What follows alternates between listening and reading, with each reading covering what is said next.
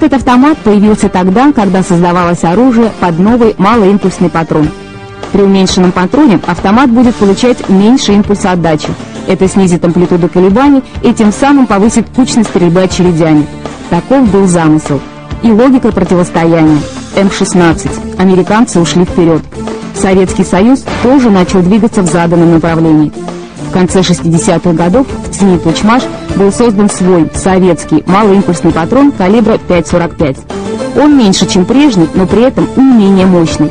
Пороховой заряд остался прежним, пуля стала легче, энергия и скорость ее полета выше, настильность траектории лучше. Начали разрабатывать оружие. Подключились все оружейные КБ.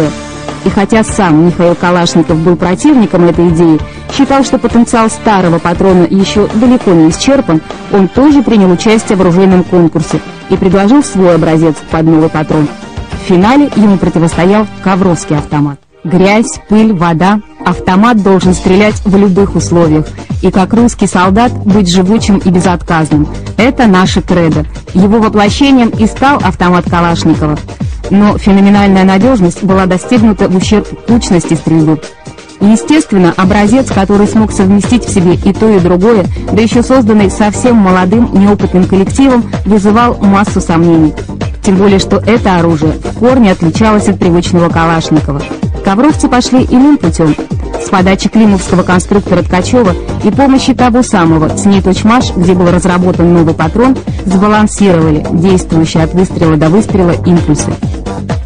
Первый импульс, импульс отдачи от выстрела, он направлен назад. Следующий импульс, импульс от работы газового двигателя, он направлен вперед, оружие толкается вперед. Третий импульс, импульс от удара затворной рамы в заднем положении, направлен назад. И четвертый импульс от удара э, затворной рамы, когда она накатывается вперед. То есть четыре разнонаправленных импульса от выстрела до выстрела. Так вот, в этой сбалансированной схеме автоматики позволяет три импульса из этих четырех замкнуть внутри оружия. И на оружие остается только один импульс, импульс отдачи. Ну, он его никуда не денешь, поскольку в, в силу его физической. Э, неуничтожимости, как мы говорим. Калашниковский образец обходил по надежности, Ковровский – по кучности. А ради ее повышения, собственно, и затевался сам конкурс. Кто же действительно лучше? Вопрос, на который так и не смогли дать ответа. Не верили, что кто-то смог обойти признанного метра. Не хотели рисковать, запускать новый конвейер. Дилемма стояла острейшая – чтобы разрядить ситуацию, объявили повторное госиспытание. Такого в истории стрелкового оружия никогда еще не было.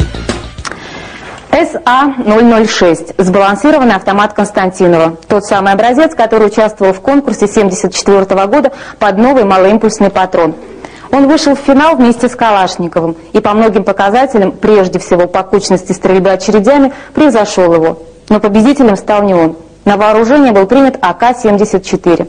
Имя сыграло свою роль. Ковровский механический завод тоже был вовлечен в орбиту Калашникова, выпускал единый пулемет, а автомат своего заводского СКБ невостребованным лежал на полке. Конструкторы по собственной инициативе над ним работали, улучшали, повышали кучность, но только через 20 лет, в начале 90-х, АЕК снова вытащили на свет, представили на суд заказчика. Министр обороны того времени Игорь Родионов сам лично для сравнения испытал все автоматы. Министерство обороны, пытаясь найти применение наработкам, опробирует на АЕКах разные варианты автоматов. Разброс заданий от минимума до максимума.